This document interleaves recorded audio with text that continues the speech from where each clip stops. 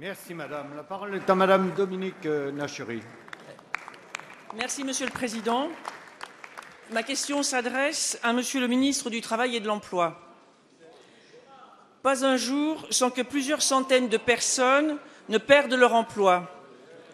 Pas un jour sans que des emplois ne soient détruits.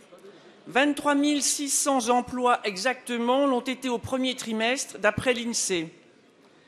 Pas un jour sans que des employeurs familiaux ne renoncent à avoir recours au service à la personne ou ne réduisent le nombre d'heures ou d'heures déclarées.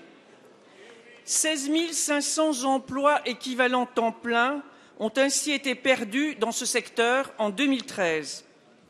Nous le savons tous, ce secteur des services à la personne est pourvoyeur d'emplois non délocalisables.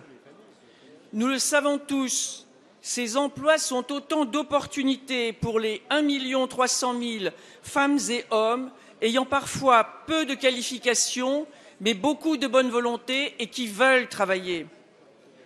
Vous le savez, nous avions réussi, grâce à plusieurs plans ambitieux depuis 2002, à faire baisser significativement le recours au travail au noir dans ce secteur. Aujourd'hui, vous devez vous rendre à l'évidence. Des emplois sont perdus dans ce secteur et le nombre d'heures déclarées a diminué de près de 8%. Alors, Monsieur le ministre, ouvrez les yeux sur la réalité vécue par nos concitoyens. Reviendrez-vous sur vos mesures fiscales pénalisant les familles, les personnes âgées et en général les classes moyennes? Et quand cesserez-vous de répondre avec légèreté à ces questions importantes et même angoissantes pour bon nombre de nos concitoyens, employés ou employeurs Je vous remercie. Merci. La parole est à monsieur François Rebsamen, ministre du Travail, de l'Emploi et du Dialogue social. Allez, allez, s'il vous plaît.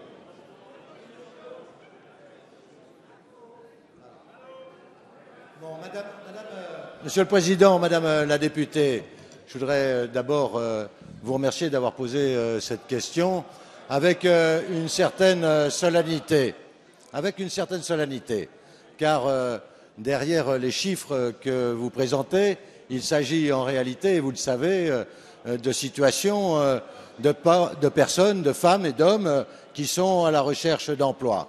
Je ne voudrais pas ici polémiquer et je ne réponds jamais de manière légère sur ces sujets. Ils sont trop importants, ils sont trop importants pour la société. Et Allez, vous pouvez Poisson, toujours voyons. euh, crier, ça ne changera rien au résultat.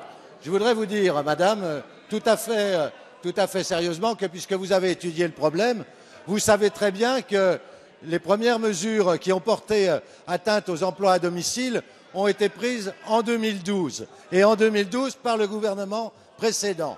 Et si je vous dis cela, c'est parce que l'étude de la DARES, qui a été euh, publiée dernièrement, montre très clairement qu'en 2013, certes, mais également en 2012, les effets qui ont eu euh, euh, lieu étaient faits suite à des décisions fiscales que vous avez prises et que nous avons prises.